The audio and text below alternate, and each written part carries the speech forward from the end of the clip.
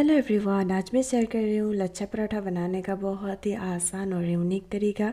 तो दोस्तों लेट ना करते हुए हम तुरंत ही वीडियो को स्टार्ट करते हैं। इसके लिए हमें लेना है मैदा।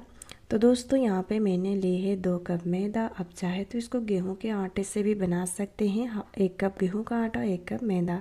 फिर हम इसमें स्वाद के हिसाब से नमक को डाल देंगे और एक टेबल स्पून रिफाइंड ऑयल डाल देंगे। यहाँ पे आप घी का भी यूज़ कर सकते हैं। उसके बाद हम अच्छे से मिक्स करते हैं और आटे को जो है अच्छे से मोइन करते हैं। आटा जितनी अच्छी तरीके से मोइन होगा लच्छा पराठा जो है उतना ही अच्छा और खस्ता बनेगा।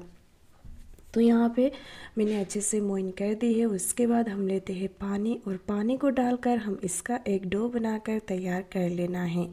तो हमें यहाँ पे सेमी सॉफ्ट डो बना लेना है। तो दोस्तों, डो जो है हमारा बन के तैयार है। उसके बाद एक मिनट के लिए गूँथ लेते हैं। फिर हम इसको पंद्रह मिनट तक रख देंगे कवर करके। करीबन पंद्रह मिनट हो गए हैं और मैंने इसको रखी थी, अच्छे से सेट हो गया है। फिर एक मिनट के लिए हम गूँथ लेते हैं, थोड़ा सा सॉफ्ट कर लेंगे। अब हम इनके पेड़े बना लेते हैं। तो यहाँ पे मैंने चार पेड़े बना ली है, थोड़े से बड़े साइज़ के पेड़े बना ली हैं। अब एक पेड़े को ले लेते हैं और हम थोड़ा सा सूखा हुआ आटा लगा देंगे। फिर एक बेलन लेंगे और रोटी बेलकर तैयार करेंगे। तो दोस्तों, एक छोटी सी रिक्वेस्ट है मेरी आपसे। आप वीडियो पे नहीं हो तो चैनल को सब्सक्राइब कर दीजिएगा।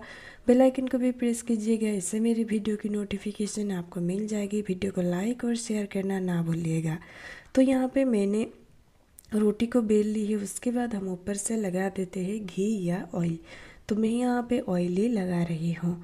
तो अच्छे से पूरी रोटी में लगा देंगे। फिर हम दोनों साइड से इसको इस तरह से पलट देंगे, मोड़ देंगे।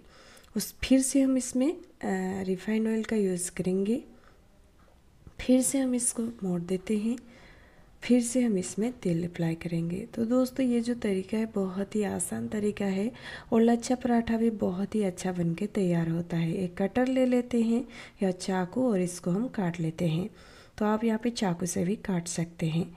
तो दो साइड से ये निकल के तैयार है। अब हम इनको इस तरह से फोल्ड करते हैं मतलब पेड़ा बनाते हैं। और दोनों को एक साथ ही हमें इस तरह से पेड़े बनाना है। इसी तरह से मैंने दो पेड़े बना के तैयार कर ली है और जो बचे हैं दो उनको भी सेम तरीके से बनाऊँगी। तो आप देख सकते हैं ये कितनी अच्छी तरीके से बन के तैयार है। एक पेड़े को हम ले लेते हैं और ऊपर से थोड़ा सा सफ़ेद तिल को लगा देंगे। इससे देखने में भी अच्छा लगेगा और टेस्ट भी अच्छा आता है। फिर थोड़ा सा हम कलवंजी ले लेंगे। दोनों को मैंने एक एक चुटकी ली थी। फिर हम हाथों से इस पेड़े को अच्छे से सेट कर देंगे। तो हमें यहाँ पे पहले बेलन का यूज़ नहीं करना है। अगर आप बेलन लगा दोगे तो लच्छे अच्छे से निकल के नहीं आएँगे। तो हम हाथों से सेट करेंगे। उसके बाद बहुत ही हल्के हाथों से बेलन से दो या तीन बार ही हम इसको बेल लेंगे। तो पराठा जो है बन के तैयार है।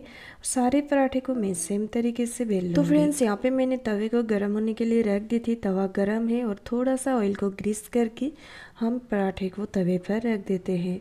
हाई टू मीडियम फ्लेम में हम एक साइड से दो मिनट तक पकाएँगे फिर हम इसको फ्लिप कर देंगे। फिर दूसरी साइड से भी हम इसको दो से तीन मिनट तक पकाएँगे हाई टू मीडियम फ्लेम में। उसके बाद हमें इसको चलाते ही रहना है फिर फ्लिप कर देंगे। उसके बाद एक मिनट तक पकाएँगे, फिर हम इसमें अप्लाई कर देते हैं घी या ऑयल या बटर का भी यूज़ कर सकते हैं। उसके बाद हम इसको अच्छे से चलाएँगे, फिर हम इसको फ्लिप कर देंगे। तो दोस्तों, हमें इसको दोनों साइड से फ्लिप करते हुए अच्छे से पका कर तैयार कर लेना है। ये जो है थोड़ा सा मोटा होता है तो हमें अच्छे से कुक करना है ताकि ये अंदर तक अच्छे से पक जाए, कच्चा ना रह जाए। तो मैंने इसको दोनों साइड से अच्छे से पक पका ली है और दूसरे वाले को भी मैं पका लूँगी। तो सारे लच्छे पराठे बन के तैयार है, आप देख सकते हैं। तो दोस्तों, आप भी इस तरह से बनाइए। इंजॉय कीजिए। वीडियो में बने रहने के लिए धन्यवाद।